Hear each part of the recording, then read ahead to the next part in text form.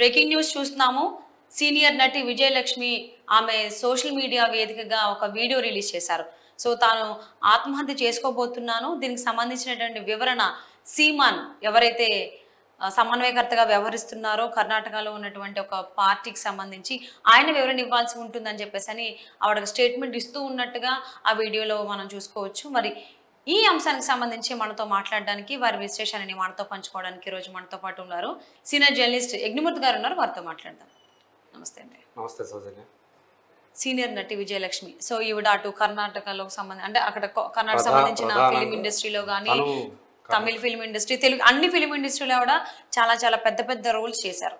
So అందరికీ సుపరిచితురాలు ఈవిడ. ఈవిడ ఒక వీడియో రిలీజ్ చేశారు ఫేస్బుక్లో. అది ఇప్పుడు చాలా వైరల్ అవుతుంది. అది కూడా ఏంటి? నేను ఆత్మహత్య చేసుకోబోతున్నాను నన్ను సీమన్ అనే వ్యక్తి మోసం చేశాడు అన్నట్టుగా. సో మరి ఈ అంశానికి సంబంధించి పూర్తి డీటెయిల్స్ ఏంటి అంటారు? విజయలక్ష్మి అనే ఆమె ప్రధానంగా కన్నడ నటి. బెంగళూరు బేస్డ్ నటి.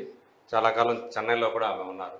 ఎందుకంటే ప్రధానంగా అటు కన్నడ ఇటు తమిళ సినిమాల్లో హీరోయిన్గా క్యారెక్టర్ ఆర్టిస్ట్గా తను చేశారు. తెలుగులో కూడా కొన్ని సినిమాలు చేశారు. అందులో హనుమాన్ జంక్షన్ సినిమా కనుక మనం గుర్తు చేసుకుంటే.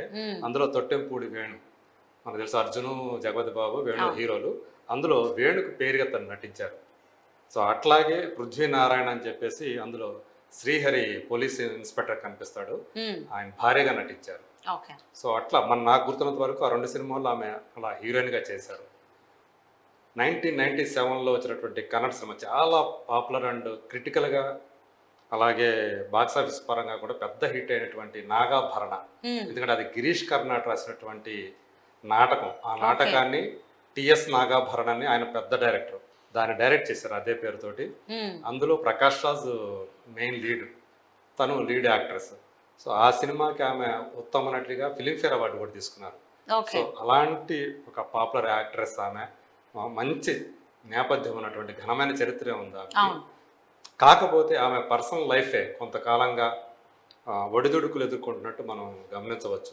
సో రీసెంట్గా ఇప్పుడు మనం మీరు అన్నట్టు ఇదే నా చివరి వీడియో నేను ఇక మీకు కనిపించను ఇది ఆత్మహత్య చేసుకోబోతున్నాను. నా గురించిన తర్వాత వార్త పోలీసుల ద్వారా మీరు వింటారు అని చెప్పేసి. చెప్పింది ఆమె. ఆ తర్వాత ఆమె ఏమైంది ఏంటి అనేది పోలీసులు మనకి చెప్పాల్సి ఉంది.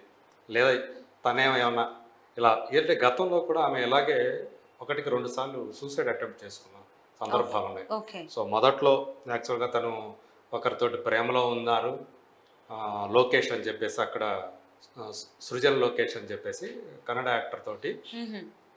అతనితో ప్రేమలో ఉండగానే ఒక అసిస్టెంట్ డైరెక్టర్ పెళ్ళి చేసుకు పెళ్ళి చేసుకోమని చెప్పి ఈమెని బలవంత పెట్టాడని అందుకని స్లీపింగ్ పిల్స్ తీసుకుందని అప్పుడు వార్తలు వచ్చాయి. టూ థౌజండ్ సిక్స్లో. సో అలా ఒకసారి బయటపడ్డారు. తర్వాత అదే సంవత్సరం అంటే టూ థౌజండ్ సిక్స్ నవంబర్ ఆ టైంలో తను ఎంగేజ్మెంట్ చేసుకున్నారు. ఆ లోకేష్ తోటి. పెళ్ళి కావాల్సి ఉంది కానీ వాళ్ళిద్దరి మధ్య సమ్ పొరపచ్చాలు రావటం దానివల్ల అది క్యాన్సిల్ అయిపోయింది. ఆ తర్వాత మళ్ళీ టూ థౌజండ్ ట్వంటీలో మళ్ళీ ఆమె ఇంకోసారి వార్తలోకి ఎక్కారు. ఇదే ఇప్పుడు ఏదైతే ఇప్పుడు సీమాన్ అని సీమాన్. చెప్పారో తమిళనాడుకి చెందినటువంటి నామ్ తమిళర్ కచ్చి. NTK party. దానికి ఆయన చీఫ్ కోఆర్డినేటర్. సో పైగా తను డైరెక్టర్ కూడా. మోర్ దాన్ టెన్ ఫిల్మ్స్ తమిళ్ళో డైరెక్ట్ చేసినట్టు వ్యక్తి. ప్రభు దగ్గర నుంచి ప్రభు సత్యరాజు శరత్ కుమార్. సో ఇలాంటి సీనియర్ యాక్టర్ని డైరెక్ట్ చేసినటువంటి మాధ్ మాధవన్. సో వీళ్ళని డైరెక్ట్ చేసినటువంటి వ్యక్తి అతను. అలాగే పొలిటీషియన్గా కూడా. రెండు వేల ఇరవైలో. ఇదే సీమాన్ తనను తనతో కాపురం చేస్తూ పెళ్ళి చేసుకుంటానని చెప్పేసి తనతో కాపురం చేస్తూ ఇప్పుడు మళ్ళీ పెళ్ళి చేసుకుని చెప్పేసి మోసం చేశాడని చెప్పేసి బ్లడ్ ప్రెషర్ని పెంచి హై బ్లడ్ ప్రెషర్కి సంబంధించినటువంటి ట్యాబ్లెట్స్ మింగారు. సో అప్పుడు కూడా అట్లా బయటపడ్డారు. ఆత్మహత్య యత్నం చేసి. అంటే టూ టైమ్స్ ఇది థర్డ్ టైం ఇప్పుడు మళ్ళీ ఆమె థర్డ్ టైం ఎలా? కాకపోతే ఇప్పుడు సేమ్ సీమన్ సీమన్ సీమన్ సంబంధించే. సో ఇప్పుడు మళ్ళీ ఇంకోసారి ఇలా రావటం. ఎందుకంటే ఆల్రెడీ టూ థౌజండ్ ట్వంటీలో ఒకసారి జరిగింది కదా మళ్ళీ ఇప్పుడు ఎందుకు ఏమైంది మళ్ళీ మధ్య కంటిన్యూ అవుతుందా? వాళ్ళ మధ్య బంధం ఏమైనా కంటిన్యూ అవుతుందా? అనేది మనకి ఇంకా తెలియాల్సి ఉంది. కాకపోతే ఆమె అట్లా అంటే ఆమె జీవితం అనేది వ్యక్తిగత జీవితం. ఇలా ప్రేమలతోటి ఇలా అంటే ఏవైతే ఆమె బంధాలు నిలుపుకోవాలనుకుందో అవి కుదరకపోవటం. అదంతా కూడా ఆమె జీవితాన్ని చివరికి ఒక రకంగా చెప్పాలంటే ఇక తన జీవితాన్ని అంతం చేసుకోవాలి అనే స్థితికి తీసుకొచ్చాయా? అనే అనుమానం అయితే కలుగుతూ ఉంది. బట్ ఏమైతే ఏమైంది ఇప్పుడు ఈమె చేసినటువంటి ఈ వీడియో అయితే ఇప్పుడు పెద్ద సంచలనంగా మారింది. ఆవిడ ఇంకొక విషయం కూడా ఆరోపించారు. నాకు ఇప్పుడు ఎవరు సహకరించట్లేదు ఎవరైతే సహకరిస్తున్నారో వాళ్ళని సహకరించకుండా కూడా సీమాన్ చేస్తున్నాడు అనేటువంటి ఆరోపణ కూడా చేశారు ఆవిడ. అవును. మరి అంటే దీనికి సంబంధించి ఎవరైనా రియాక్ట్ అయ్యారా? పోలీసులు కానీ ఎవరైనా? అదేమన్నా మనకు తెలుసా అండి? ఫిల్మ్ ఇండస్ట్రీ వాళ్ళు కానీ ఆల్రెడీ సీమంత్ ఒక వివాహితుడు. రెండు వేల పదమూడులోనే ఆయన పెళ్ళైంది ఆయనకి. సో తను ఆ వైవాహిక జీవితం గడుపుతూ ఆయన సమస్యలు ఆయన పట్టు ఎందుకంటే ఒక పొలిటీషియన్గా కూడా ఉన్నాడు కాబట్టి.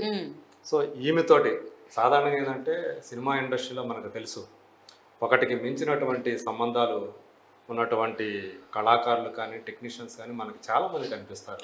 అలాగే ఇప్పుడు తమిళనాడులో సీమాన్ అనే వ్యక్తి ఒక తనకు ఒక ఇమేజ్ ఉన్నటువంటి వ్యక్తి ఒక డైరెక్టర్గా పేరున్నటువంటి వ్యక్తి. దాంతోపాటు విజయలక్ష్మి తోటి ఒక రహస్య సంబంధాన్ని కూడా తను కొనసాగిస్తూ వచ్చాడు. రెండు వేల ఇరవైలో ఆమె బహిర్గతం చేసింది. అప్పటి నుంచి తను కూడా ఆమె దూరం పెడుతూ వచ్చాడు. మనకు తెలిసిన వరకు. ఈమె తనకు న్యాయం కావాలని పోరాడుతూ ఎందుకంటే తనతోటి మూడు సంవత్సరాల పాటు సహజీవనం చేసింది. తను పెళ్ళి చేసుకుంటానని కూడా చెప్పాడు. చెప్పాడు కాబట్టి కానీ అప్పటికే అతను వివాహితుడు. మనం గమనించాల్సిన విషయం ఏంటంటే కాబట్టి అతను తనకి తన ఇమేజ్కి వ్యక్తిగత ఇమేజ్కి భంగం వాటిల్తుందనే ఉద్దేశంతో ఆమెను దూరం పెట్టినట్టుగా మనం అర్థం చేసుకోవచ్చు.